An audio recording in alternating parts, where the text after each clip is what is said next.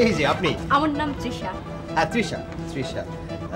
তৃষা এই চিঠিটা চিঠি লিখবার কি দরকার ছিল? মুখে বললে হতো কাল রাতে টেলিফোনে যখন ক্ষমা চাইলেন তখনই মাফ করে দিয়েছি। ছোটখাটো শহরে বুঝি এই ধরনের চিঠি চালাচালি করে সমস্যার সমাধান করা হয় হ্যাঁ?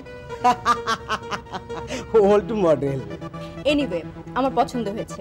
এই যে আপনি সাজিয়ে গুছিয়ে চিঠিটি লিখে এনেছেন নিশ্চয়ই আমার পড়তে ভালো লাগবে। দিন দিন যেটা পড়ি। আপনারও মুখে কিছু বলতে হলো না? আবার সমস্যাটা মিটে গেল। দিন। কিন্তু তৃষা এই চিঠিটা তো আপনার জন্য লিখে আনিনি। তবে এতে দু একটা কথা আপনাকে নিয়ে লেখা আছে। ও। আচ্ছা পোস্ট অফিসটা কোন দিকে? চিঠিটা আমি পোস্ট করি। থ্যাংক ইউ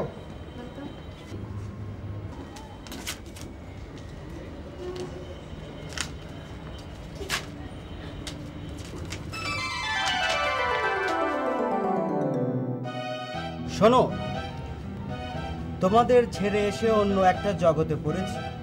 মানিয়ে নিতে আমার সময় লাগবে। তোমাদের খুব কিস করি।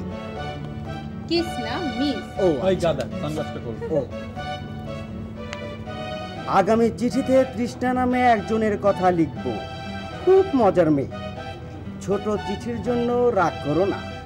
কথা মতো প্রত্যেক সপ্তাহে চিঠি লিখব। তুমিও লেখো। ইতি আমি। আমি।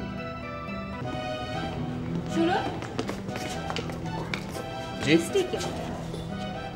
বৃষ্টি কোন বৃষ্টি? যাকে আপনি চিঠি লিখেছেন? এটা আপনাকে কেন বলব? বলবেন না কেন?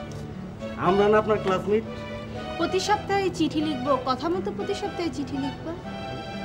আপনারা চিঠিটা পড়েছেন? আমি পড়িনি। কে বৃষ্টি যশোরের কাকে কে চিঠি লিখলো কেন লিখলো তার সাথে কার কি সম্পর্ক এত কিছু জানার আমার একদমই কৌতূহল নেই। আমরা সবাই পড়েছি। অন্যের চিঠি পড়ে ইতর মানুষ। ক্লাস শুরুতে আর পাঁচ মিনিট বাকি। ক্লাসে যাবেন না? হ্যাঁ, নিশ্চয়ই যাব। চলুন।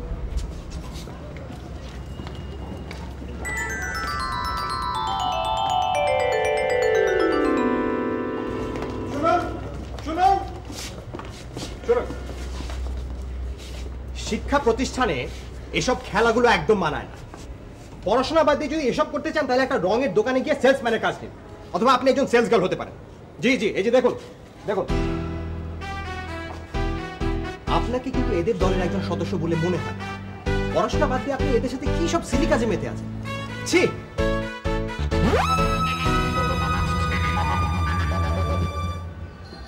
মহাপণ্ডিত তোর পণ্ডিত আমি ছুটিয়ে দেব লেকচার আমরা যেন ওর ছাত্র।